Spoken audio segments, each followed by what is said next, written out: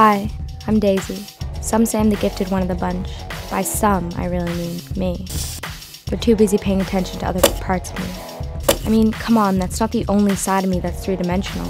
I'm a dependable friend, I'm a supportive daughter, I'm a responsible sister, but when do I stop being someone for everyone? And just get to be me?